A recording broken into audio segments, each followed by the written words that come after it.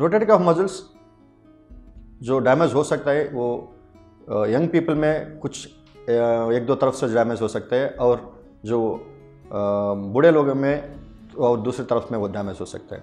जो young people में क्या हो सकता है? तो पहली बात है एक्सीडेंट्स नहीं तो नीचे गिरने गिरने में, न तो कि भारी वज़न उठाने से ये मज़ल डैमेज हो सकता है।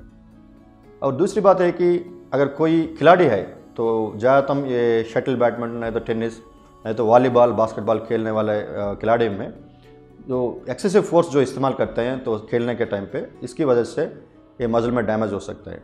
इसको हम नॉर्मली ओवर यूज़ डैमेज बोलते हैं, इसको ओवर यूज़ इंजरी बोलते हैं, ताकि इसका मजल स्ट्रेंथ तो नॉर्मल है, लेकिन उससे वो बहुत ज़्यादा वज़न डाल रहा है वो बहुत ज़्यादा फोर्स डाल रहा है। इसकी वजह से ये सालों सालों पर वो खेलने के बाद वो डैमेज हो सकता है। तो हम देख लिया तो बहुत सारे क्रिकेट स्पोर्ट्स पर्सन में स्पेशली बॉलर्स में इस, टाइप का डैमेज हो सकता है। और ये रोटेट का मजल डैमेज ये बूढ़े लोगों में हो सकता है। इसमें क्या होता है? तो उम्र की वजह से जो मजल्स में वीकनेस जहाँ होती है जो कमज़ोरी होता है ये कमज़ोरी अपने आप पैदा होता है और इन लोगों में बिना कोई चोट बिना कोई गिरने के बाद वास्ते भी ये कंधे में डैमेज हो सकता है।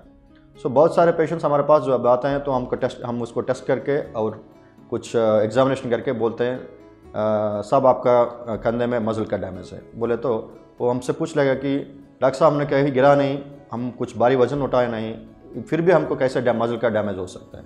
तो यह हो सकता है ये उम्र की वजह से हो सकता है ताकि बाहर से कुछ इस पर कंधे पे वज़न नहीं डाला लेकिन जो कम जो मजल जो अंदर जो है जो उसमें अपने आप कमज़ोरी पैदा हुआ तो अपने आप यह डैमेज होने का चांसेस होता है।